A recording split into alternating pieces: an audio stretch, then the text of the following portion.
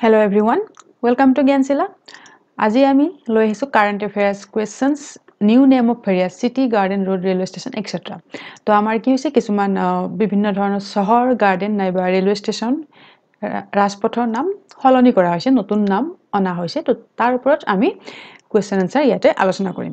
আৰু এই কুৱেশ্যনবিলাক upcoming A P S C D H S আৰু অন্যান্য যিকোনো পৰীক্ষাৰ কাৰণে ইম্পৰ্টেণ্ট হয়। ভিডিঅ'বিলাক সম্পূৰ্ণকৈ চাব স্কিপ নকৰিব আৰু আমাৰ ভিডিঅ'ৰ আপডেটছবিলাক সময়মতে পাই থাকিবলৈ আমাৰ চেনেলটো ছাবস্ক্ৰাইব কৰি ৰাখিব অ'কে আৰু যিহেতু ডি এইচ এছ পৰীক্ষাৰ ডেট ঘোষণা কৰা হৈছে বাৰ ফেব্ৰুৱাৰীত অনুষ্ঠিত হ'ব।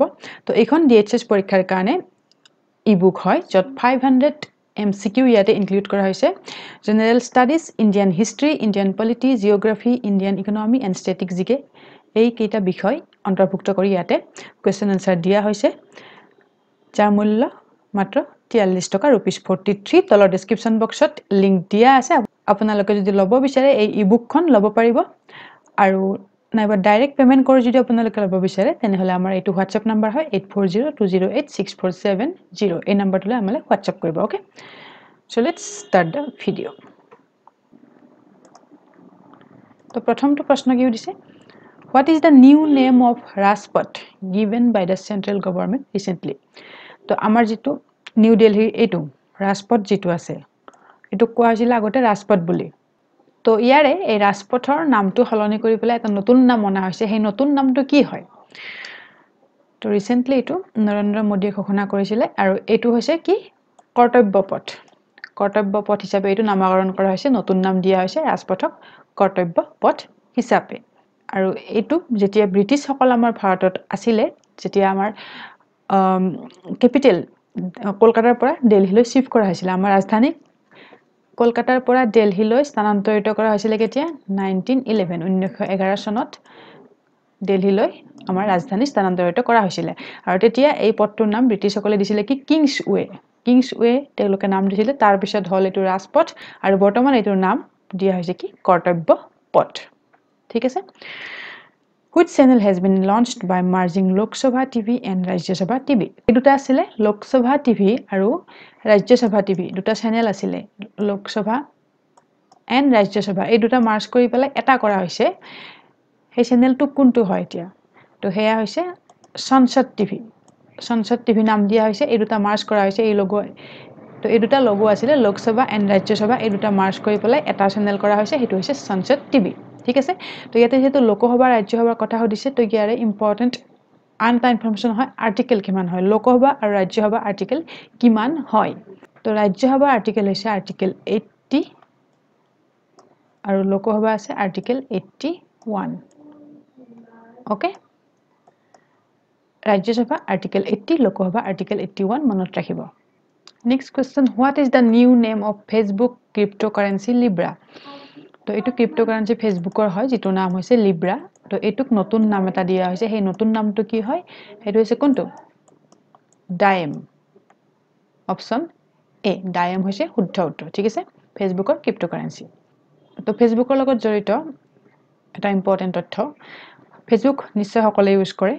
ফেচবুক কেতিয়া ফাউণ্ড কৰা হৈছিলে? কেতিয়া এইটো ফেচবুক ফাউণ্ড কৰিছিলে কিমান চনত? সেয়া হৈছিলে ফেব্ৰুৱাৰী চাৰি দুহেজাৰ চাৰি চনত এইটো ফেচবুক ফাউণ্ড কৰা হৈছিলে কাৰ দ্বাৰা? মাৰ্ক জুকাৰবাৰ্গৰ দ্বাৰা। মনত ৰাখিব এইখিনিও ইম্পৰ্টেণ্ট হয় এক্সামৰ কাৰণে সুধি দিব পাৰে পৰীক্ষাত। Recently Tata Sky has change is name what is the new name Tata Sky change কৰিছে নামটো। আগতে আছিল টাটা স্কাই আৰু এতিয়া কি হয়? এতিয়া হয় টাটা প্লে ঠিক আছে? টাটা প্লে হয় এতিয়া। What is the new name of Aurangabad in Maharashtra মহাৰাষ্ট্ৰৰ এখন চিটি হয় চহৰ ঔৰংগাবাদ এইখনৰ নতুন নাম দিয়া হৈছে তো ঔৰংগাবাদৰ নতুন নাম কি দিয়া হৈছে অপশ্যনত আছে ইয়াতে অটল নগৰ সম্ভাজী নগৰ শিৱাজী নগৰ নান দেয়াৰ বুক শুদ্ধ উত্তৰ হ'ব কোনটো সম্ভাজী নগৰ ছত্ৰপতি সম্ভাজী নগৰ ইয়াৰে নাম দিয়া হৈছে ঔৰংগাবাদখনক নতুন নাম ঠিক আছে ঔৰংগাবাদৰ আৰু এখন চিটি আছে যিখনৰ নাম আছিলে ওচমানাবাদ এইখনৰো নতুন নাম এটা দিয়া হৈছে এইটো মনত ৰাখিব ইম্পৰ্টেণ্ট হয়। ওচমানাবাদৰ নতুন নামটো দিয়া হৈছে থাৰাচিব ঠিক আছে ওচমানাবাদৰ নতুন নাম দিয়া হৈছে থাৰাচিব এণ্ড ঔৰংগাবাদৰ নতুন নাম দিয়া হৈছে সম্ভাজী নগৰ।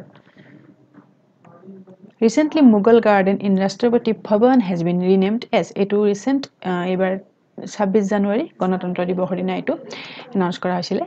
আমাৰ যিখন মোগল গাৰ্ডেন আছে ৰাষ্ট্ৰপতি ভৱনৰ সন্মুখত যিখন গাৰ্ডেন আছে সেইখনক মোগল গাৰ্ডেন বুলি কোৱা হৈছিলে। সেইখনৰ নতুন নাম এটা দিয়া হ'ল। সেইখনৰ নামটো চেঞ্জ কৰি পেলাই কি কৰা হ'ল? সেয়া হৈছে অমৃত উদ্যান। অমৃত উদ্যান ইয়াৰে নাম দিয়া হৈছে। যিটো ৰাষ্ট্ৰপতি ভৱন আছে আমাৰ নিউ দিল্লী সেইটো কোনে ডিজাইন কৰিছিলে? এইটো এটা ইম্পৰ্টেণ্ট কুৱেশ্যন হয়। কোনে ডিজাইন কৰিছিলে? এডৱাৰ্ড লুটেন্স। ডিজাইন কৰিছিলে Rashtrapati Bhavan. Mid day meal scheme is renamed as mid day meal স্কিমটো আমাৰ ৰিনেম কৰা হৈছে। সেইটো কি হিচাপে ৰিনেম কৰা হৈছে? সেইটো হৈছে P M Kisan P M Kisan scheme হিচাপে ৰিনেম কৰা হৈছে মিড ডে মিল স্কিম তো তো মিড ডে মিল স্কিমৰ লগত জড়িত কিছুমান ইম্পৰ্টেণ্ট ইনফৰ্মেশ্যন জানি লওক। এইটো ষ্টাৰ্ট কেতিয়া হৈছিলে? মিড ডে মিল ষ্টাৰ্ট হৈছিলে নাইনটিন নাইণ্টি ফাইভত অল ইণ্ডিয়াত ষ্টাৰ্ট হৈছিলে নাইনটিন নাইণ্টি ফাইভ আৰু এইটো কাৰ আণ্ডাৰত আহে? Under the national food security act এইটোৰ আণ্ডাৰত আহে mid day meal scheme start হৈছিলে কেতিয়া এইটো পৰীক্ষাত সুধি দিয়ে নাইনটিন নাইণ্টি ফাইভ ঠিক আছে? আফটাৰ হুম ৰাজীৱ গান্ধী খেল ৰত্ন এৱাৰ্ড ৰিনেমড এইটো আগতে আছিলে কি? ৰাজীৱ গান্ধী খেল ৰত্ন এৱাৰ্ড বুলি এটা এৱাৰ্ড দিয়া হৈছিলে যিটো ৰিনেম কৰি পেলাই বৰ্তমান কৰা হৈছে কি? মেজৰ ধ্যানচান্দ এৱাৰ্ড কৰা হৈছে এইটো। মেজৰ ধ্যানচান্দ ধ্যানচান্দ কোন হয়? তেখেত এগৰাকী হকী প্লেয়াৰ হয় আমাৰ।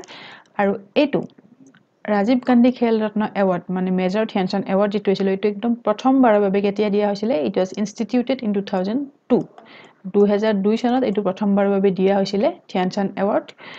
আৰু প্ৰথম যিয়ে পাইছিলে তিনিগৰাকী প্লেয়াৰ আছিলে এইটো এইটো স্পৰ্টছৰ ক্ষেত্ৰত দিয়া হয় এইটো জানি লওক। আৰু তিনিগৰাকী আছিলে কোন কোন? Shahuraj Birajdar boxing boxing player হয় অশোক দিৱান হকী প্লেয়াৰ হয় and Aparna Ghosh basketball player হয়। এই তিনিগৰাকী প্ৰথম ৰেচিপিয়েণ্ট আছিলে মেজৰ টেনশ্যন এৱাৰ্ডত in the year two thousand two আৰু তেখেতৰ এটা নিকনেম আছে মেজৰ ধ্যানচান্দক আন এটা নামেৰে আমি জানো কি উইজাৰ্ড বুলি কোৱা হয়। দ্য উইজাৰ্ড নাইবা মেজিচিয়ান বুলি তেখেতক কোৱা হয়। আৰু তেখেতৰ যিদিনা জন্ম দিৱস আছে জন্ম দিৱস আমি পালন কৰোঁ ঊনত্ৰিছ August twenty ninth of August. সেইদিনা আমি কি পালন কৰোঁ? নেশ্যনেল স্পৰ্টছ ডে আমাৰ পালন কৰা হয় কিমান তাৰিখত? Twenty ninth of August. গোটেইখিনি ইম্পৰ্টেণ্ট হয় মনত ৰাখিব okay Rohtang tunnel in Himachal Pradesh has been renamed as Himachal প্ৰদেশৰ যিটো এইটো টানেল হয় ৰতাং টানেল এইটো ৰিনেম কৰা হৈছে কি হিচাপে? ৰতাং টানেল ৰিনেম কৰা হৈছে অটল টানেল হিচাপে ৰিনেম কৰা হৈছে আৰু এইটো কিমান দৈৰ্ঘ্যতা কিমান ইয়াৰে লেংথ কিমান হয় nine point zero' two kilometre এইটো মনত ৰাখিব ইম্পৰ্টেণ্ট হয় ৰতাং টানেল ৰিনেম কৰা হৈছে অটল টানেল হিচাপে। Habibganj railway station in Madhya Pradesh has been renamed as মধ্যপ্ৰদেশৰ এইটো এটা ৰেলৱে ষ্টেচন হয় হাবিবগঞ্জ। এইবিলাক নিউজত আছিলে ৰিচেণ্ট তো হাবিবগঞ্জ ৰেলৱে ষ্টেচনক ৰিনেম কৰা হৈছে। নতুন নাম দিয়া হৈছে। কোনটো নামেৰে? সেয়া হৈছে ৰাণী কমলাপতি ৰেলৱে ষ্টেচন নাম দিয়া হৈছে। মধ্যপ্ৰদেশৰ যিটো হাবিবগঞ্জ ৰেলৱে ষ্টেচন আছে এতিয়াৰ পৰা ৰাণী কমলাপতি ৰেলৱে ষ্টেচন বুলি জনা যায়। An island peak in Andaman and Nicobar mount Harriet is renamed as Andaman and নিকোবৰৰ এটা আইলেণ্ড পিক আছে। শিখৰ এটা যিটোৰ নাম আছিলে মাউণ্ট হেৰিয়েট। মাউণ্ট হেৰিয়েট ইয়াৰে নাম আছিলে বাট এই নামটো সলনি কৰি পেলাই এতিয়া নতুন নাম দিয়া হৈছে কি বুলি? মাউণ্ট মণিপুৰ। এতিয়া নতুন নাম দিয়া হৈছে মাউণ্ট মণিপুৰ। মনত ৰাখিব? এণ্ড এগেইন আন্দামান নিকোবৰৰ লগত ইম্পৰ্টেণ্ট কিছুমান তথ্য হৈছে। আন্দামান নিকোবৰৰ তিনিটা আইলেণ্ড ৰিনেম কৰা হৈছে। সেই তিনিটা হৈছে কি কি? Ross Island. ৰছ আইলেণ্ডটোক ৰিনেম কৰা হৈছে কি হিচাপে? নেতাজী সুভাষ চন্দ্ৰ বোস দ্বীপ। নেইল আইলেণ্ডটোক ৰিনেম কৰা হৈছে শ্বহীদ দ্বীপ আৰু হেভলক আইলেণ্ডক ৰিনেম কৰা হৈছে স্বৰাজ দ্বীপ হিচাপে। মনত ৰাখিব গোটেইখিনি ইম্পৰ্টেণ্ট হয়। মাউণ্ট হেৰিয়েট মাউণ্ট মণিপুৰ কৰা হৈছে ৰছ আইলেণ্ড নেতাজী সুভাষ চন্দ্ৰ বোস দ্বীপ বুলি ৰিনেম কৰা হৈছে নেইল আইলেণ্ড ৰিনেম কৰা হৈছে Shaheed Dweep and Havelock island is renamed as Swaraj Dweep. ঠিক আছে। Andhra Pradesh C M Jagan Mohan Reddy announces new capital of the state who which will be the new capital of the state তো অন্ধ্ৰপ্ৰদেশৰ chief minister কোন হয়? জগন মোহন ৰেড্ডি তেখেতে recent এইটো নিউজত আছিলে ৰিচেণ্ট ঘোষণা কৰিছে কি অন্ধ্ৰপ্ৰদেশৰ কেপিটেল চেঞ্জ কৰা হ'ব। বৰ্তমান অন্ধ্ৰপ্ৰদেশৰ কেপিটেল কি হয়? সেয়া হৈছে অমৰাৱতী বৰ্তমান অন্ধ্ৰপ্ৰদেশৰ কেপিটেল হয় অমৰাৱতী বাট অমৰাৱতীৰ পৰা চেঞ্জ কৰাই কেপিটেল শ্বিফ্ট কৰা হ'ব। ক'লৈ এতিয়া? নিউ কেপিটেল হ'ব অন্ধ্ৰপ্ৰদেশৰ বিশাখাপট্টনম এইটো অফিচিয়েলি ডিক্লেয়াৰ নাই কৰা ঘোষণা কৰিছে অফিচিয়েলি ডিক্লেয়াৰ কৰিব। বিশাখাপট্টনম অন্ধ্ৰপ্ৰদেশৰ নতুন কেপিটেল হ'ব। ঠিক আছে? ইম্পৰ্টেণ্ট হয় পৰীক্ষাৰ কাৰণে। চ' এইখিনি কুৱেশ্যনছ হয় নতুন নামৰ ওপৰত। আৰু মই ডি এইচ এছৰ কাৰণে যিটো ৰিভিজন ক্লাছ কণ্টিনিউ কৰি আছোঁ সেইটো আপোনালোকে মিছ নকৰিব চাই থাকিব। বাৰ ফেব্ৰুৱাৰীলৈকে মই সেই ক্লাছটো কণ্টিনিউ কৰিম। আপোনালোকৰ পৰীক্ষাৰ কাৰণে ৰিভিজন ক্লাছ এটা হয়। ইম্পৰ্টেণ্ট GKM আমি তাত আলোচনা কৰি আছোঁ okay so' that's all for today if you like the video' please like share and subscribe the channel and press the bell icon for further updates of our video' till then keep learning keep sharing Jai Hind